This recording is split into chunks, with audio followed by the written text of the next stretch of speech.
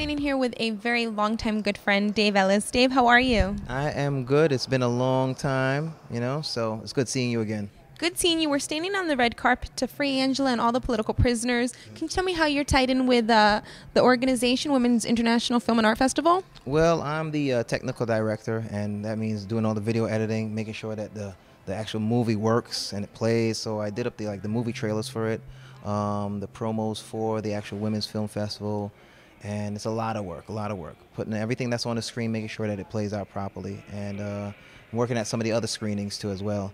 You know, so Question. I'm so sorry. Question. Seeing the film, I've you know we've stood on the red carpet with a few different women this evening, getting their perspective from a male's perspective. What is your viewpoint on the film? Well, this is a very powerful film. It, it really showcases a woman who was whose whose back was against the wall, and she took no. She didn't. You know, she didn't take no for an answer. She she pushed back, and it's just good to see women coming out. You know, as as a unit to support this movement and also support other women and of course the Women's International Film Festival because this is co-produced by Jada Pinkett Smith, you know, and um, it just shows that women they're doing it up, man. I mean, I think they're gonna be in the White House pretty soon.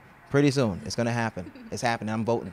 For. I love it. Dave, can you tell us any projects, any uh, shows that you're working on right now? Working on a couple of different things. Um, there's a musically, I'm working with a group called Miami Life. Um, they're amazing um, EDM three-man production team, and I work with them. You know, helping them do tracks, guide them in the right direction, and everything.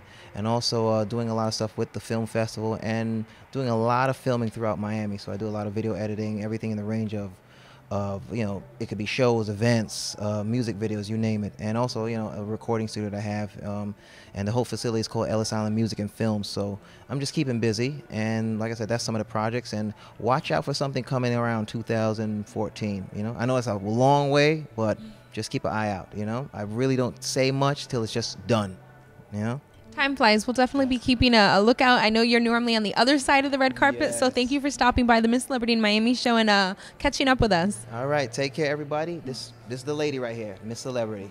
thank All you, right. guys. Stay tuned.